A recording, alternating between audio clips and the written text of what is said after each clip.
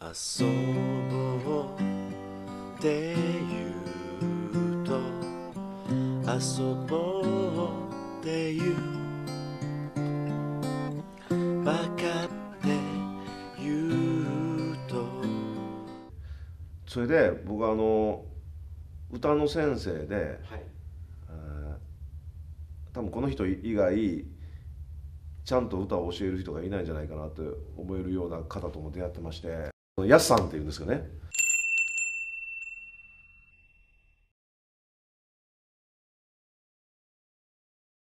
本当にあの歌の何が一番大事なのかっていうそして童謡に対しても童謡がどういう音楽なのかっていうことも本当に熟知されてて。雪やこんこあられやこんこ降っては降ってはずんずん積もる。山もの原もわった帽子かぶり。枯れ木残らず花が咲く。雪やこんこあられやこんこ降っても降ってもまた降りやまぬ。犬は喜びには駆け回り。猫はこたつで丸くやっぱりこの水のことをやるにあたってやっぱりその先生に相談した方がいいかなと思ってやってたんですね。で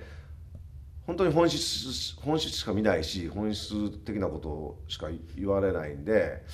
まあそのうんあきちゃんの歌聞いてもらったらどう言うかなと思ったんですよ。で僕が一番なんかあこれはいいなと思ったエンゲルベルト・フンパティングのああの映像を「これ先生ちょっと見てみて」って言って送ったんですよ。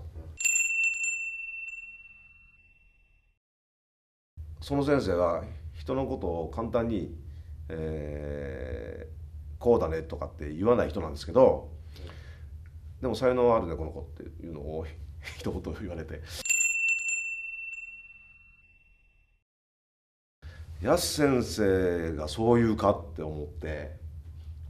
YouTube たどっていろいろ見たらしいんですけどうん最初倉本君が送ってくれたあの英語の歌がいいよねって、うん僕はまあ自分ももちろん聞いてあすごいなと思ったけどもやすさんが言うてと間違いないなともう一回思えたんですよね。なので本当にそのうん、まあ、例えば童謡で「ふるさと」がだ誰でも歌えるようにはいなるぐらいのところまでご一緒していただけたらなと 思いました僕は。うん、やすさんも「それ無理だよ無理だよね」って言わないと思う。世界に出ていこうよね。ね、うんうん。そのためには多分やす先生とちょっとなんか出会ってもらうのは近道かなと。一回あきちゃん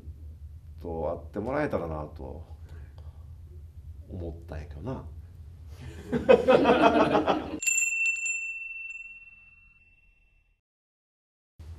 あ喜んでいきます。